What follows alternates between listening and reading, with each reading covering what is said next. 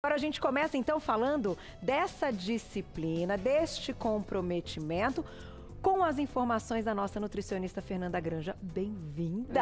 Estava com saudade! Obrigada. Adoro Obrigada. quando você consegue colocar aí na sua agenda, que é movimentada, porque a Fê é mãe e ela é super mãe, né? Atuante aí na Sou. maternidade.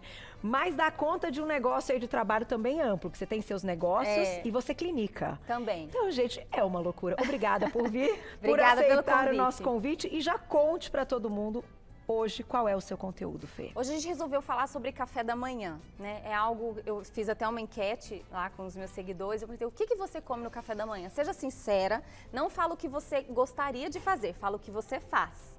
E assim, uma resposta estava certa. Sério, você recebeu assim, tipo, muitas? Muitas, muitas. E as pessoas têm boas intenções, mas a gente precisa entender que o nosso corpo, ele não fica igual para sempre. Então, se você é criança, não é que criança pode tudo, mas criança pode mais que um adulto, quando, quando fala de alimentação. Entendi. Porque o corpo ele vai amadurecendo e com a maturidade os nossos hormônios vão mudando, o nosso metabolismo vai mudando. Tem gente que fala que é mito, não é mito, é verdade. A natureza faz isso, né? Por, por proteção. Então, até na Bíblia tem uma- um, uma- um versículo que é assim, eu não lembro onde era, mas fala assim: é, quando virei homem, deixei as coisas de menino.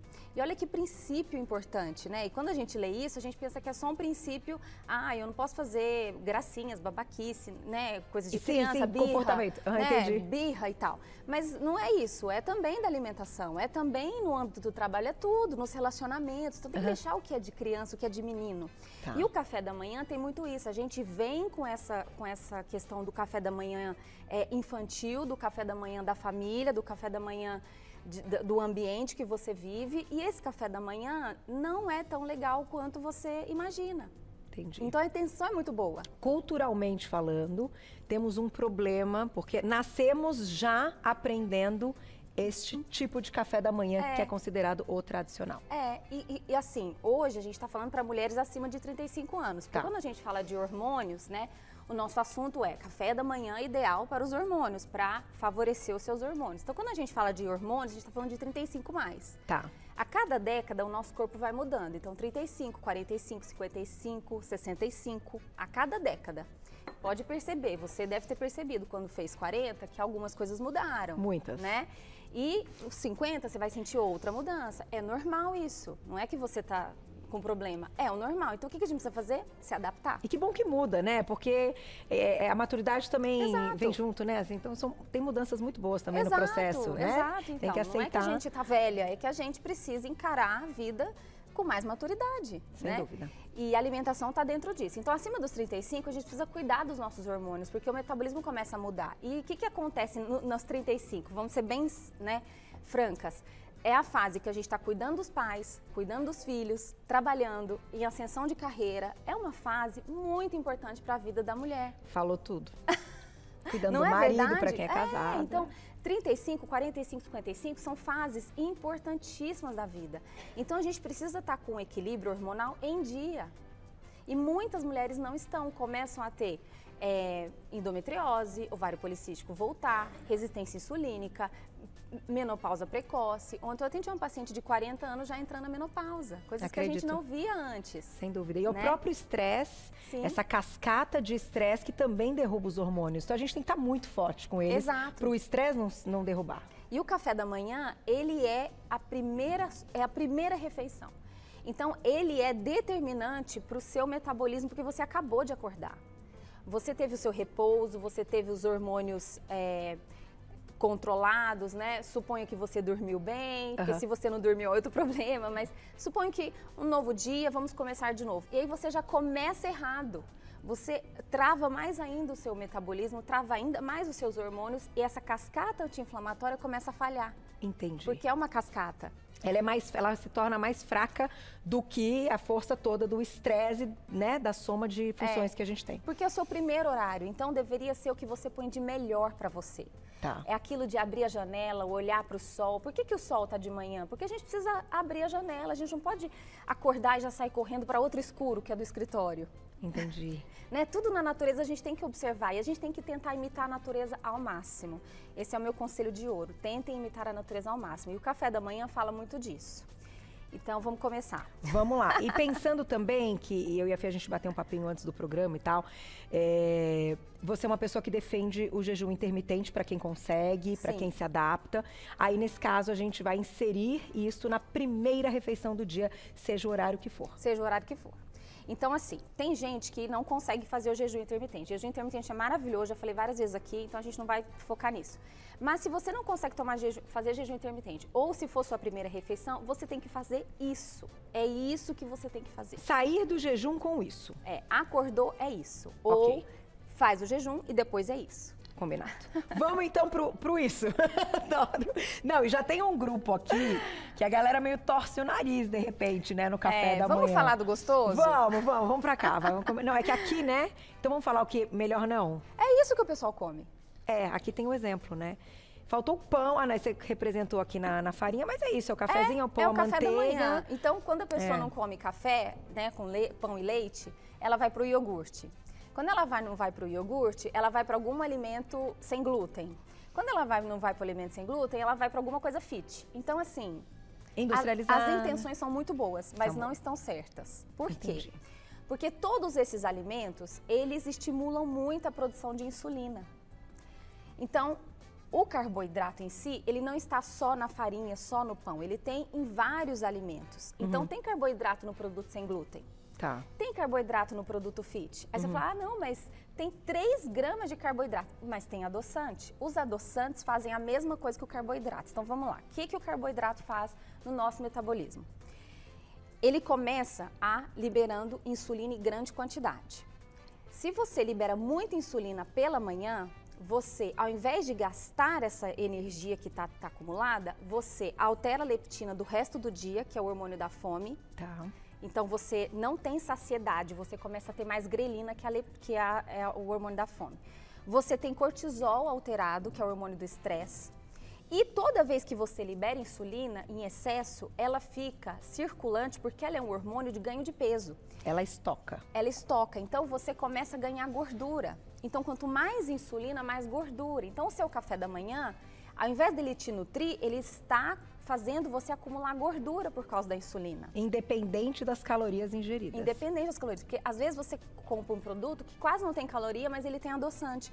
E o adoçante, ele não tem caloria, mas ele faz no cérebro e no corpo a mesma coisa que o açúcar. Que o açúcar. Ele ele é doce, então as papilas gustativas mandam um recado para o cérebro falando: vem açúcar aí. Só que libera insulina, o pâncreas libera insulina. Não é tanto quanto açúcar, Fê? Não, não? É. é. é. menos. É, depende, né? Acontece. Se for uma, uma carga altíssima, ah, adoçante no café, adoçante ah, no iogurte, adoçante na barrinha. Entendi. Depende. Entendi. Então, Depende, é aí vai vir tudo doce, doce, doce, doce. E aí o que, que acontece? A insulina liberou, porque ela está esperando o açúcar. Só que o que, que acontece? Não tem açúcar. A insulina fica lá circulando. E a pessoa Cadê não vai açúcar? treinar. Cadê o açúcar? Cadê porque o... às vezes se o açúcar foi liberado, mas ela vai treinar, ela é. consome o açúcar no treino, Só certo? que não consome. Só que não consome. E aí o que, que acontece? Essa insulina fica lá circulando e você tem compulsão na próxima refeição, porque ela precisa ser é, estocada. Ela, ela precisa de, da, do açúcar para funcionar. Entendi. Então, é, é, comer carboidrato pela manhã inclusive frutas, pro hormônio não é tão legal. Vai, vai gerar todas as, né, alterar Não estou falando cortisol. que, que fruta não é saudável. Nós não estamos falando aqui do que é saudável ou não. A gente está falando aqui de hormônios, o que é melhor para os hormônios. Por isso que eu falei, cresceu, amadureceu, tem que deixar as coisas de menina. A gente tem que encarar um, um, um, novo tipo de alimentação. Fruta é legal? É muito legal, mas não na primeira hora do dia. Mas na última pode ser mais legal que na primeira, ou seja, antes de dormir, de repente, uma Eu fruta low carb? no meio. No meio do dia. É, almoço tá. e lanche da tarde. Certo. Vamos então, já entendemos aqui o que não, o não podemos, e os agora adoçantes. vamos para este grupo. que grupo é esse? Aqui estão representados suplementos. Então, os suplementos, eles são maravilhosos para você col colocar no início do dia. Não precisa uhum. ser em jejum, pode ser no meio da manhã, mas uhum. ele tem que estar tá pela manhã. Uhum. Então, ômegas, que é acelera o metabolismo, micronutrientes. Então, por exemplo, ah. nesses alimentos, eles têm poucos nutrientes. Então, se você conseguir colocar suplementos com nutrientes e pouco adoçante, hum, é a combinação hum. ideal. Então, cápsulas tá. são muito legais. Tá, porque não vão ter aí açúcar, o adoçante. o adoçante, enfim. E até a composição que eu ia te perguntar, uh, quando a gente está falando de produtos como esse, é assim. Tem que ser o mínimo, ainda se tiver adoçante, o último ingrediente, o último ingrediente na lista. É, e alguns mais saudáveis, então, é, xilitol, eritritol, então são, são adoçantes que estimulam menos ainda a insulina. A sucralose, que é um adoçante largamente difundido, ele estimula mais a insulina. Ah. E sucralose tem muitos produtos fit. É, porque ela acabou ficando, ela não entrou na classificação dos ciclamatos, é, que é, são, viraram proibidos, é. e nem dos mais caros, polióis, que eles são mais é. caros. Exato. Entendi, ela tá ali, não é por isso. Até grávida pode, né, sucralose. É, então, então foi liberada. É... Mas com equilíbrio, Fê? Isso, isso, menos possível e último ingrediente. Mas ainda assim é melhor que açúcar, Fê? Não. Não, desculpa, sim. Sim. Porque o açúcar você come mais. Tá. O adoçante você come menos, com certeza. Então, colocando nesse equilíbrio. É. Eu gosto de ouvir as opiniões, eu pergunto mesmo, gente, porque essa minha amiga sabe tudo e você é sincera. Sou. Então, essa pode ser uma estratégia, é. certo? Para quem gosta do sabor, para quem gosta da textura, porque gosta do cheirinho. Porque eu, por exemplo, esses negócios de pó, ah, Maria, eu posso sentir o cheiro. É, eu prefiro cápsula também né? Sim. Vou colocar a perguntinha do público já. Aproveitei! Estamos ao vivo. Fernanda Granja hoje junto com a gente. Noêmia, obrigada. Um beijo para você. Tenho 53 anos e estou na menopausa. Sou diabética tipo 2. Sinto que os meus hormônios estão alterados. O que fazer? Já já a Fê vai responder essa perguntinha aí na tela para vocês que Fernanda Granja vai responder agora. Pergunta da Noêmia. Tenho 53 anos, estou na menopausa, sou diabética tipo 2. Sinto que os meus hormônios estão alterados o que fazer. Muitas pessoas vão se identificar, né, Fê? Noêmia, você não, você não está sentindo, você está com os hormônios É, não é só né, uma não é um, queixa. Não é um é sentimento, é você está. está. Então é isso, a gente é, começa a ter esses sintomas, né, e não precisa chegar no pré-diabetes. É, hipotiroidismo, endometriose, infertilidade, tudo isso são hormônios alterados, menopausa, diabetes. Então o que, que a gente tem que fazer? Conhecer as estratégias e praticar. Não adianta só, né, saber Sim. de tudo e não fazer. Sem dúvida. Então, é aquela velha história. Ah, mas eu vou deixar de comer isso. Então, você não quer melhorar os seus hormônios? Então, a gente tem que fazer um esforço. Então, recapitulando, Noemi, o que, que você vai fazer? Você vai tirar do seu café da manhã para você metabolizar melhor, já vai falar o que, que, vai melhorar os seus hormônios, mas o que piora, a gente já conversou e é tá. carboidratos, adoçantes artificiais, farinhas e frutas. O café pode? Café sim. O café ele não tem caloria e ele tem antioxidantes, ele não tem carboidrato. Então a tá. grande questão de manhã é você evitar ao máximo tudo que tem carboidrato. Certo. Colocar alimentos com baixíssimo carboidrato e mais nutrição. E aí vem a parte do que pode, né? Três alimentos aqui que a gente separou que favorecem os seus hormônios. Primeiro, os alimentos verdes, que não tem como não falar deles. Eu acho que todo mundo fala deles, né? Não, não tem, jeito. Sempre aparece, não né? Não tem, tem jeito. como. Eles, Eles são não tem caloria. Não tem caloria. Eles são à vontade. Você pode variar com várias preparações e temos aí uma infinidade no Brasil que a gente pode aproveitar. Né? Concordo com você. Tô vendo ali Dona Isa, deve estar tá falando com a Dona Gláucia que olhando para esse grupo falando, mas como comer isso no café da manhã? Gente, eu, eu, eu sabia que essa pergunta ia vir. Rap disso aqui, sabe o rap que a gente assinou 100 vezes, bota uma coisinha gostosa de proteína aqui. Esse aqui, você faz um, um, um molinho proteico. Fritada. É, exatamente. Também com ovos, isso, boa. Gente, a abobrinha faz ela recheadinha também. Com ovos também. Então, assim, é. você não precisa comer tudo isso, couve. Tu... Não, gente, é um, um alimento verde. Então, escolhe. Então, escolhe um alimento verde, come junto com ovo, bate um suco com limão. O limão é uma fru... é fruta, só que ele é uma fruta com baixíssimo carboidrato. Então, tá tá dentro. Perfeito. É, outras frutas que pode bater aqui, as berries, que para nós é um pouco mais caro, mas você pode, existe congelada. Então o limão é, é, não tem erro, né? É uma coisa mais acessível e não tem erro. Então você pega esses alimentos verdes e você coloca com batido no suco ou com as gorduras e a proteína. Que aí já entramos neste grupo aqui, ovos, linhaça, que ali é um suquinho também? É de, de açafrão, cúrcuma. Ai, que gostoso! É, e é um leite vegetal. Que bacana. Então, ah, Fernanda, eu quero tomar leite. O melhor é o leite de castanhas, amêndoa e coco, porque o leite de vaca, ele tem muito carboidrato.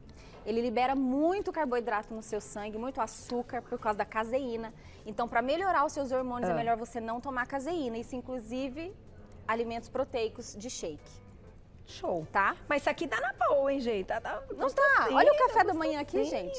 Então, gorduras boas que tá no abacate, na linhaça, nas castanhas, o leite de castanhas, leite de coco, os ovos. Você pode também, não é nosso hábito, mas, por exemplo, os orientais, eles comem peixe de manhã. Com certeza. Né? É que não é nosso hábito. É, é cultural. Mas realmente. aqui a gente está falando o que você tem que fazer para melhorar os seus hormônios. Tá. Né? Então, são alimentos que você vai colocar no seu dia a dia, no seu café da manhã. Não precisa comer tudo isso, você vai escolher um e vai comer. E vai tomar o seu café, vai tomar chás, que são antioxidantes, nutrientes para você fazer o seu corpo trabalhar a seu favor. É essa a grande questão. Não é você comer por comer.